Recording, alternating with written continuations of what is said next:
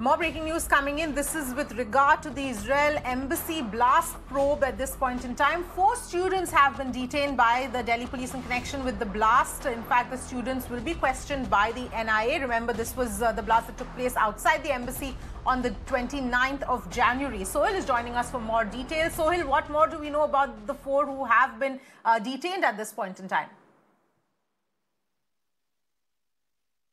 Well, uh, four students have been uh, detained by uh, Delhi Police Special Cell uh, in Kargil from Sanko area, and they have been taken to uh, Delhi on transit remand after they were uh, produced in a local court. And in fact, you know, three, all of them are related, and three of them were studying in Delhi, and one was studying in Nagpur.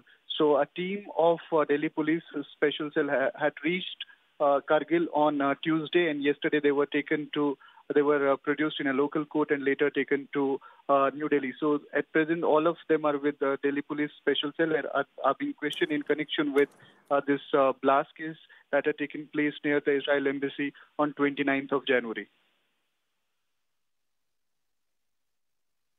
All right, uh, thank you so much for joining us with all of those details.